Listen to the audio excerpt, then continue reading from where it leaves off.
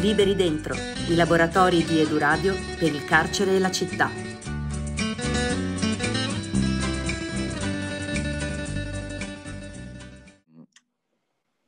Buongiorno a tutte e a tutti, eh, siamo i Cantieri Meticci, questa è la nostra seconda puntata con voi. Eh, in questa puntata ehm, ascolterete dei racconti che i nostri attori, le nostre attrici eh, hanno, hanno, scritto o, o, improvvisato a partire del caffè, eh, a partire da storie di caffè. Nella prima eh, nostra eh, puntata, nel nostro incontro, abbiamo letto un, un brano di un grande poeta palestinese sul caffè e in qualche modo ispirandoci adesso eh, ci siamo ricordati un po' di nostri episodi legati al caffè.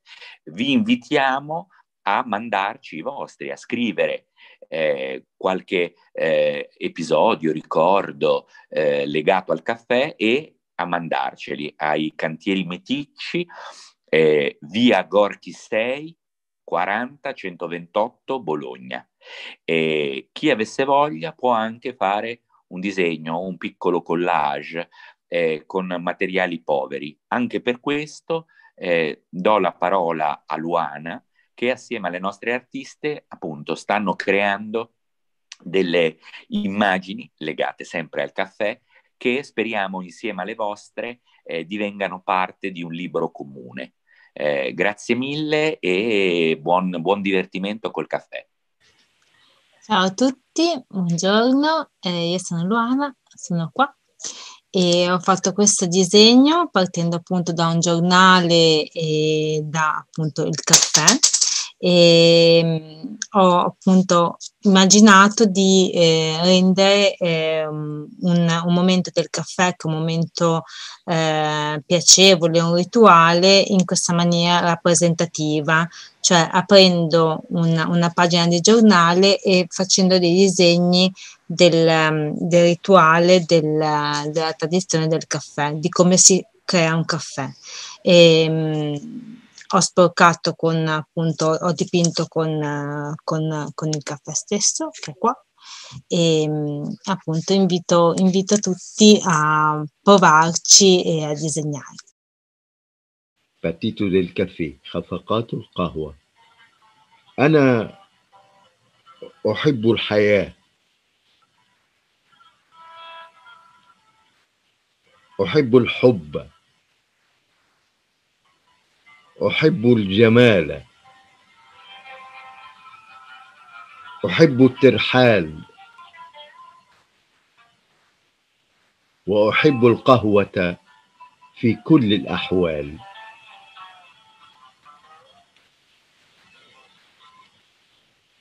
منذ صغري وأنا عاشق للقهوة. منذ صغري وأنا عاشق للقهوة المصرية التركية.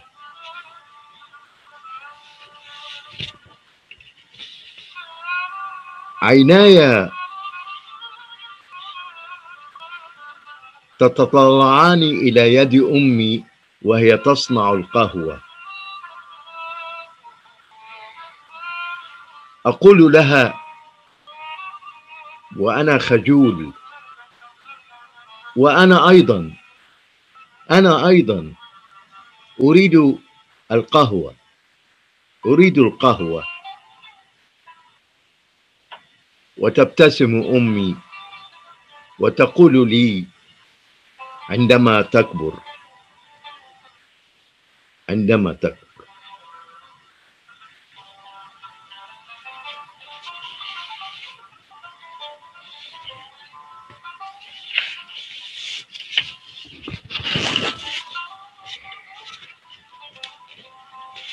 وكبرت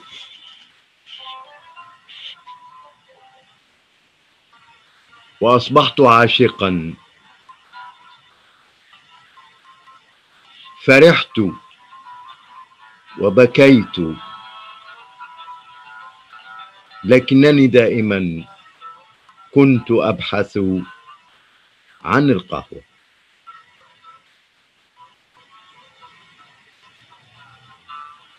كنت دائما أبحث عن القهوة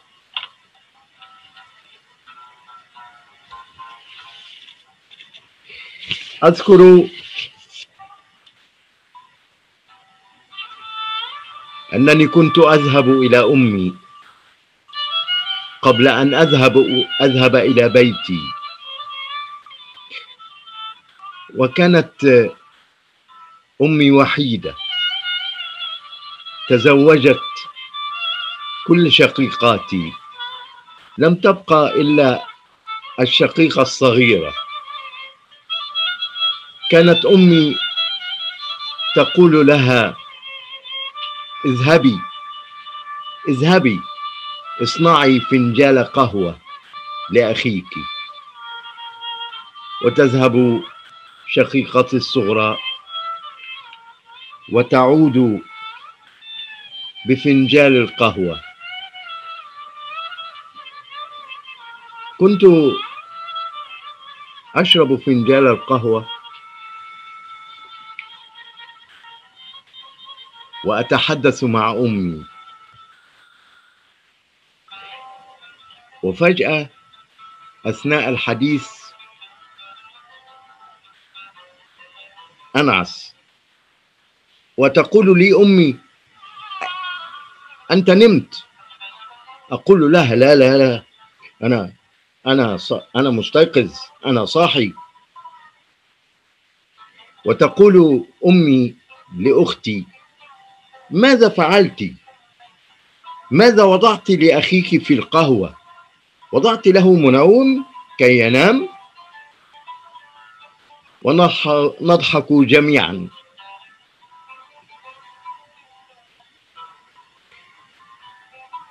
والآن.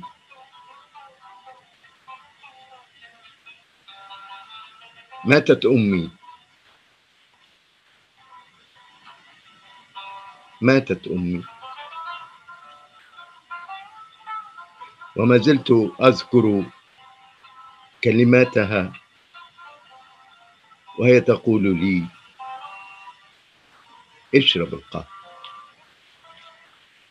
اشرب القهوة. Il caffè della domenica. Sonntag kommt zu mir Kaffee trinken. Ilse è gentile, anche se ha lineamenti asciutti, nervosi e un'espressione mascolina. Ilse è la mia futura coinquilina.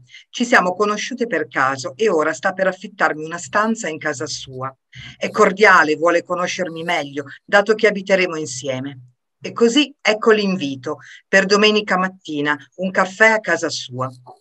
La domenica è sacra qui a Berlino, non per motivi religiosi, ma per passare la mattinata insieme. Ci si invita tra parenti, amici, colleghi, conoscenti e si consuma una lauta colazione davanti a fiumi di caffè e chiacchiere. In Italia il caffè è un rituale più veloce, qui invece è come il tè in Inghilterra, non perché si beve alle 5 del pomeriggio, ma perché si beve sempre, anche mentre si pasteggia. Quello non è caffè, è acqua sporca, mi dicono i miei amici italiani.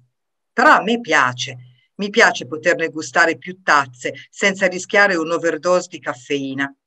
Mi piace accom- accompagnarlo al cibo, al dolce, ma soprattutto al salato.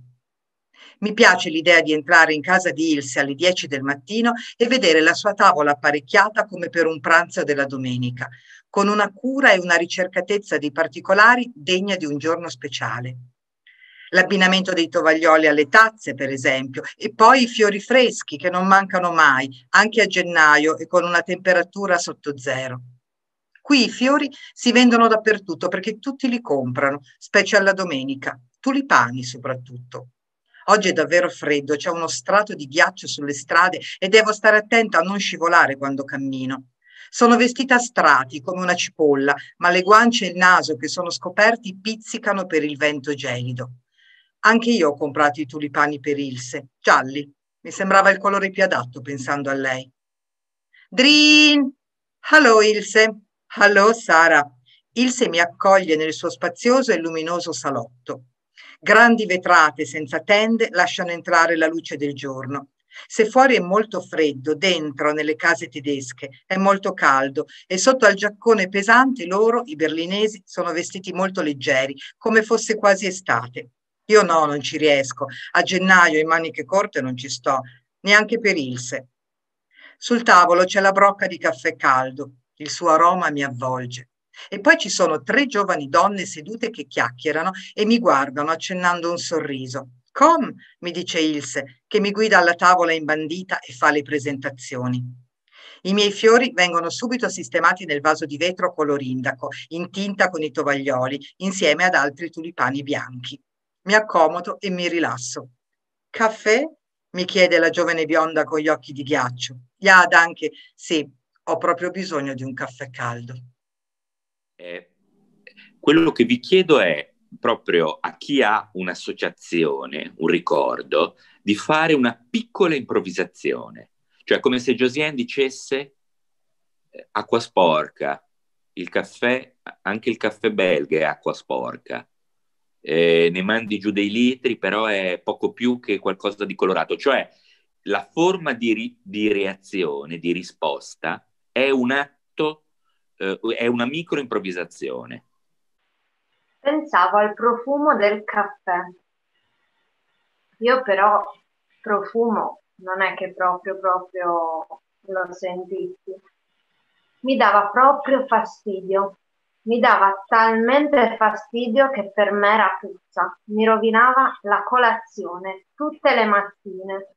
E non capivo perché sia mia mamma che mio papà lo cercassero proprio come se fosse qualcosa di irrinunciabile, indispensabile. Puzzava. Non capivo perché dovessero bere qualcosa che avesse un odore così forte. Sembrava bruciato, sembrava di bere veramente legna bruciata e mi rovinava i miei biscotti, rovinava, rovinava tutto. E soprattutto non sopportavo il momento in cui, prima di andare a scuola, mia mamma mi dava il suo bacio all'odore di caffè, o meglio, alla puzza di caffè. Mi ricordo quando ero piccola che mettevo la legna nella stufa e sopra c'era una pentola di alluminio con dentro il caffè. Allora sentivo un profumo di caffè. Tutte le sere andavo a mettere dentro la legna nella stufa anche se non c'era bisogno. Il profumo di caffè mi inebriava ed ero piccola. Una sera ho preso un panchetto, salì sopra, rischiavo anche di bruciarmi. Con il mescolo lungo lungo riuscì a sentire e godermi di nascosto a bere il caffè. Adesso bevo tutti i giorni il caffè e mi ricorda l'odore del caffè caldo, dato che io avevo freddo e col caffè mi scaldavo. Il caffè mi dà una vitalità, il caffè mi dà la pace, il caffè è un esaltatore di vita. E tutte le volte alla mattina quando mi alzo bevo sempre il caffè che sono diventata una, come una cocainomine a bere il caffè. E io i primi giorni per me a Bologna mi manca il caffè arabo come ha, ha parlato adesso la nostra amica uh, per, per il caffè arabo diverso non è come il caffè eh, italiano, espresso così. Eh, allora io cercando dove eh, costa il caffè arabo per fare caffè, il nostro caffè così, con, con questa. Non è, non è, come devi fare questa così, devi mettere l'acqua e dopo il caffè e zucchero o senza zucchero come ti vuoi, è, ma diversi, non ho trovato mai se qualche anno io cercando questa cosa, alla fine forse uh, l'anno scorso ho trovato questa, il mercato usato. E, uh, ma dopo qua io cercando 80 anni e eh, prima ero ubriaco caffè arabo e dopo è diventato eh, ubriaco caffè espresso italiano. Il caffè di mia madre.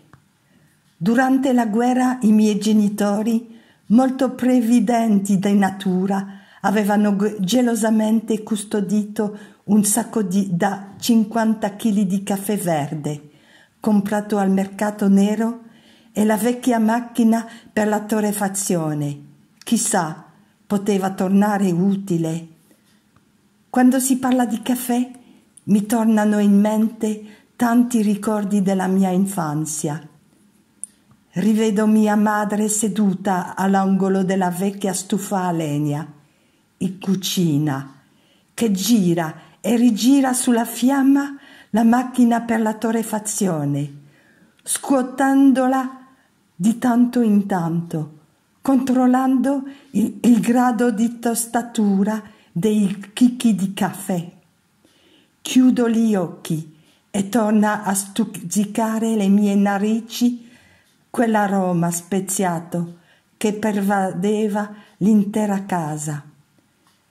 Rivedendo mia madre seduta lì, intenta a girare energicamente la maniglia del macchina caffè, di legno chiaro e metallo rosso tra le ginocchia. Torno a sentire il rumore dei chicchi che si rompono e diventano polvere. Rivedo mia madre aprire il microscopico cassetto del macinino e versarne il contenuto nel filtro della vecchia caffetteria, di smalto bianco ornato di fiorellini, aggiungendo qualche granello di cicoria per ridurre il livello di caffeina. Rivedo mia madre versare lentamente nel filtro l'acqua bollente del vecchio bollitore di alluminio a fischietto, messo poco prima sul fuoco, e sento gli intensi effluvi di quella bevanda riempire poco a poco lo spazio. Che fosse per il postino o per chiunque entrasse in casa nostra, c'era sempre del caffè pronto la preparazione del caffè oggi non ha più nulla a che vedere con la, la lenta, accurata e amorevole preparazione di allora, ma per me rimane un momento magico perché strettamente legato a mia madre. Io e mia sorella da piccoli avevamo in casa questo macinino di ferro, azzurro, rotondo, e per noi era eh, l'occasione per metterci a giocare al tram. Io facevo il conduttore del tram, prendevo il macinino, mettevo su un tavolo, mia sorella si sedeva dietro su una sedia e il macinino con la sua manovella era il meccanismo con il quale il ferroviere faceva andare avanti, fermare il tram. Buona giornata amore. Buona giornata, ecco il tuo caffè per farti alzare ed iniziare bene questo giorno. Sono contento di questo incarico che mi sono assunto la mattina. Fare il caffè e portarglielo a letto come primo gesto d'amore. Fare il caffè è il mio momento di meditazione, silenzioso della giornata. Mi sveglio sempre prima io, in verità mi sveglia il mio cagnone che pretende di mangiare per iniziare bene anche lui la sua giornata. Deambulo fino al bagno e poi in cucina. Lo accontento con la sua porzione di crocchette e lui per cambiare mi manifesta la sua gioia con salti e girotondi. Poi preparo il caffè il silenzio cui, in, di cui mi circondo nella preparazione mi permette di mettermi in contatto con me stesso. Sta per iniziare un'altra giornata. Faccio il mio solito buon proposito di volermi bene, di ascoltarmi di più, di non aver bisogno dell'approvazione degli altri. Piano piano, giorno dopo giorno, sento che questa meditazione silenziosa davanti alla monca sta facendo i suoi effetti. Piano piano sento che ogni giorno che passa sono un po' più diverso. Il passato rimane con i suoi sbagli, non ho intenzione di cancellarlo, ma quello che sento che conta di più è il giorno che ho davanti e come lo vivrò in rapporto con gli altri. L'odore del caffè pervade tutta la cucina e si espande verso le altre stanze della casa. Sento un mugolio dalla camera da letto e una vocina che dice Wow, stai facendo il caffè, che bello, grazie. Come al solito, anche lei è abituata a non dare niente per scontato, neanche i piccoli gesti che si ripetono ritmicamente ogni mattina. Tutto è e diventa gioia. Io continuo a rimanere in silenzio e aspetto che il rito del caffè che sgorga dalla macchinetta si completi. Mescolo il denso liquido nero aumentando l'odore nell'ambiente. Scelgo con cura due tazzine e un vassoio. Preferisco portare sul vassoio sia le tazzine che la caffettiera, in modo che il caffè venga servito bello caldo. Noi lo beviamo tutti e due senza zucchero. Per noi solo così si sente veramente se un caffè è buono oppure no. Completato il bouquet mi incammino con calma verso la stanza da letto, con il cagnone che mi cammina tra i piedi. Lui sa, come mia abitudine, che sul vassoio ho appoggiato anche due dei suoi biscotti. Nessuna parola, solo gli occhi parlano tra di noi. La cosa più dolce di questo inizio di mattina è avere qualcuno che ti sorride appena sveglio. Viene da lontano questa abitudine del caffè alla mattina.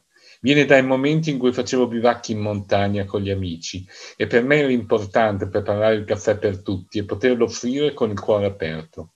Viene dalle navigazioni in mare per fare attività subacquee in Grecia o in Croazia. Ma in fondo quello che per me conta è che il caffè fatto con amore ed offerto con gioia permette di affrontare la vita in modo più aperto e senza rancori. È un altro giorno si vedrà. Buona giornata, amore, buona giornata a tutti.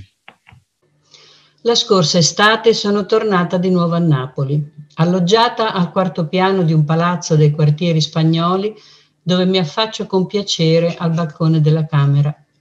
La strada sotto è stretta, a senso unico, lastricata con pietra lavica nera. A destra in fondo si vede il mare, a sinistra in alto sulla collina la certosa di San Martino. Proprio alla base del palazzo, di là dalla strada, in una piccola edicola carica di ex voto, qualche passante ha lasciato un fiore all'immagine della Madonnina che si trova all'interno. La strada è così stretta che posso cambiare qualche parola con il bambino del terrazzino di fronte. Sul balcone due seggioline, un piccolo tavolino. Mi sto godendo l'aria fresca del mattino e i pochi rumori che vengono dalla strada ho portato con me sul balcone la cucumella, la caffettiera napoletana carica di acqua bollente. Ora la capovolgo, mi siedo, aspetto, l'acqua scende piano, goccia a goccia, cola sul caffè appena macinato a grana grossa e lentamente va a riempire il bricco con il becco, sul quale ho appoggiato un piccolo cappuccio in carta per non disperdere il profumo. Passa qualche minuto prima che l'acqua sia colata tutta, ma anche questo fa parte del rito della tazzulelle caffè. Il bricco ora è pieno di caffè fumante, appena calato, denso, profumato, quasi una cioccolata, di colore a manto di monaco e mi sento molto vicina ad Edoardo De Filippo nel suo monologo sul caffè, che si conclude con Vedete quanto poco ci vuole per far felice un uomo. Una tazzina presa tranquillamente qui fuori con un simpatico dirimpettaio. Ho sapito che mi sonnata stanotte. A nonna Carmela. Eh, com'era bella. Con quella camicetta rossa, come quando gli va a fare spesa a basso mercato. La prima cosa che mi ha detto, Nanninè, non mi sento buona ma sto facendo vecchia pure io. E non ci ho pensata, no, assettatela. E s'è assettata in fronte a me, m'ha pigliata mano e m'ha detto, Nanninè, ma tu o vuoi trovare un buon marito, un marito che ti va bene, che ti rispetta? Ma no, veramente io non è che penso tanto matrimonio. Come? Una buona moglie, ad essere una femmina e sa da fare rispettare. E sai qual è la prima cosa che una buona moglie sa andare a fare? Eh, no, no, veramente, non, non ci penso matrimonio. Ha da sapere fare un caffè. E allora, piglia caffettera, lieva suo piezze sotto, metta in dell'acqua ad essere fredda, gelata, poi piglio filtro, quella che buca. L'acqua non ha da stare né troppa sotto filtro e né troppa coppo filtro, una via e mezza. Poi piglio boccaccello caffè e comincio a fare una montagna, grossa grossa, grossa come Vesuvio. E 1, 2, 3, 4, 5, 6 e 7, 8. E 1, 2, 3, 4, 5, 6 e 7, 8. Poi piglio coperchio, mettilo sopra, metto un coppo a fuoco, a fiamma bassa, mi raccomando. E nanninè, una buona mogliera, ha da sapere fare pure cremina. Quindi, piglio bicchiere, metto in zucchero e prima quattro gocce che escono in da caffettera. E poi aggira, aggira sempre finché non senta...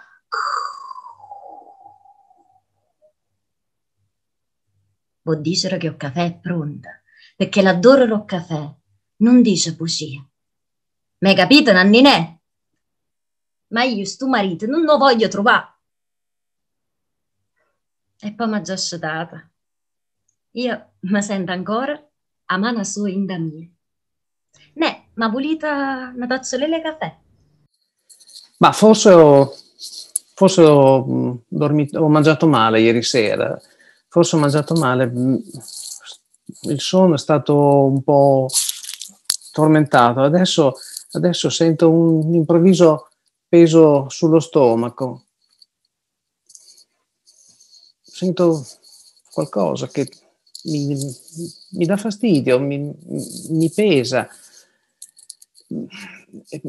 Chi è che mi sta prendendo a schiaffi in faccia? Non sono schiaffi, ma porca miseria, sono le zampate del gatto che mi sta svegliando, vuole mangiare. Vabbè, mi alzo e vado a fare il caffè. Eh, come diceva il nostro poeta palestinese, il caffè è geografia. Eh, speriamo eh, di avere viaggiato con voi insieme e speriamo che questi caffè da tutto il mondo ci facciano incontrare. Eh, grazie infinite e eh, ci vediamo la settimana prossima con una nuova storia. Buona, buona giornata.